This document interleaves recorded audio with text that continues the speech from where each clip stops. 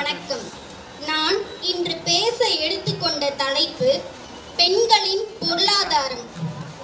ஒரு நாடு பொருளாதார ரீதியாக முன்னேற்றம் அடைய வேண்டும் என்றால் அது பெண்களுடைய கையில்தான். நாட்டுடைய பொருளாதார முன்னேற்றத்திற்கும் பெண்களுக்கும் என்ன சம்பந்தம் என்று யோசிக்கிறீர்களா? ஒரு நாட்டுல பெண்கள் அந்த நாட்டுல இருக்க ஆண்களை விட பெண்கள் அதிகமா வேலைக்கு போய் சம்பாதிக்கிறது தான் நம்ம பொருளாதார முன்னேற்றம் அப்படின்னு சொல்றோம். அதாவது அந்த பெண்கள் இப்ப நிறைய துறைகள்ல கால் பதிச்சிருக்காங்க பெண்கள் கால் பதிக்காத துறையே இல்லை அப்படின்றது இன்னைக்கு எல்லாரும் புரிஞ்சுக்கக்கூடிய ஒரு விஷயமா இருந்தாலும் கூட முன்ன இருந்ததை விட மட்டும்தான் முன்னேறி இருக்காங்க ஆனா அதையும் விட இதுக்கப்புறமா வரக்கூடிய காலங்கள்ல பெண்கள் அதிகமா அனைத்து துறைகள்லையும் கால் பதிக்கணும் அப்படி இருந்தா மட்டும்தான் ஒரு நாட்டுடைய பொருளாதாரம் முன்னேற்றம் அடையும் இப்போ இருக்க சூழல்ல இன்னைக்கு இருக்கக்கூடிய வாழ்க்கை சூழல்ல ஒரு குடும்பத்துல ஆண் மட்டும் வேலைக்கு போய் சம்பாதிக்கிறத வச்சு அந்த குடும்பத்துடைய தேவைகளை பூர்த்தி பண்ணவே முடியாது அதனால அந்த குடும்பத்துல இருக்கவங்க வேலைக்கு போறவங்களா இருந்தாலும் சரி வேலைக்கு போகாம வீட்டில் இருக்கவங்களுடைய தேவைகளையும் பூர்த்தி பண்ண முடியாம ரொம்ப கஷ்டப்படுவாங்க. அது மட்டும் இல்லாம நம்ம செலவை கம்மி பண்ணணும் அப்படின்னு நினச்சி அவங்களுடைய தேவைகளையும் குறைக்குவாங்க.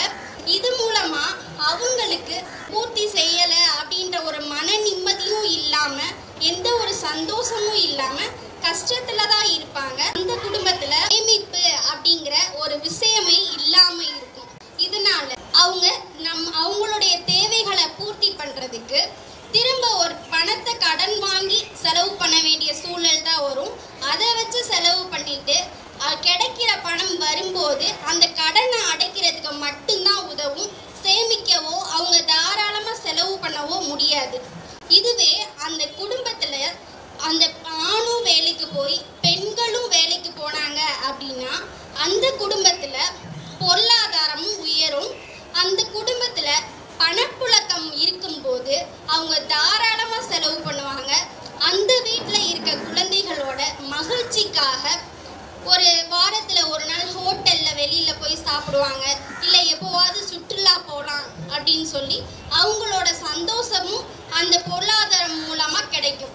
இந்த மாதிரி ஒரு குடும்பத்தில் ஆணும் பெண்ணும் வேலைக்கு போனாங்க அப்படின்னா கடன் இல்லாமல் பொருளாதாரம் உயர்ந்து சேமிப்பும் உயரும். அவங்களுடைய சந்தோஷமும் அதிகரித்து மன நிம்மதியோட மகிழ்ச்சியான வாழ்க்கையையும் வாழுவாங்க.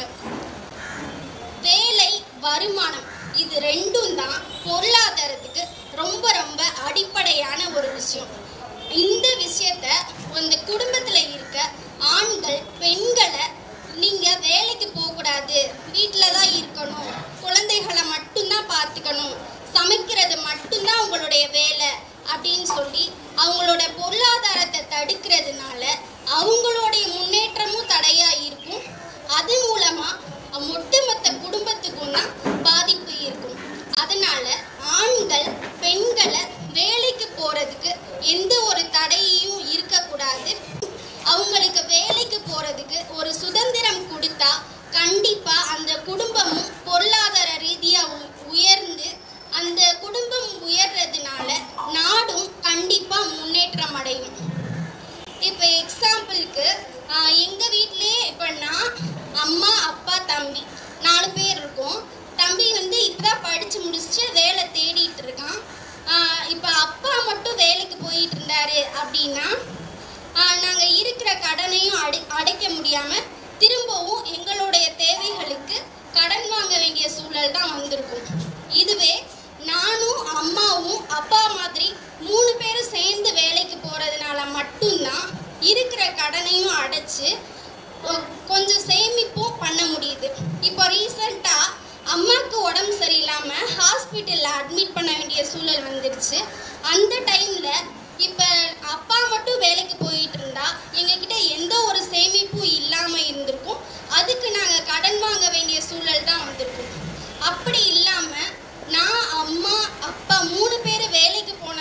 மட்டும்தான். எங்ககிட்ட கொஞ்சம் சேமிப்பும் இருந்தது. அதை வச்சு கடன் வாங்காமல் எங்களுடைய மாத தேவைகளையும் பூர்த்தி பண்ணிட்டு ஹாஸ்பிட்டலுக்கும் கடன் இல்லாத சூழ்நிலையோட முடிஞ்சது. இது மாதிரி ஒவ்வொரு குடும்பத்திலையும் பெண்கள் வேலைக்கு போனாங்க அப்படின்னா குடும்ப பொருளாதாரம் முன்னேற்றம் அடையும். குடும்ப பொருளாதாரம் முன்னேற்றம் அடைந்தாலே கண்டிப்பாக நாட்டுடைய பொருளாதாரம் முன்னேற்றம் அடையும். என்று கூறி பேச வாய்ப்பளித்தமைக்கு நன்றி கூறி விடைபெறுகிறேன். நன்றி.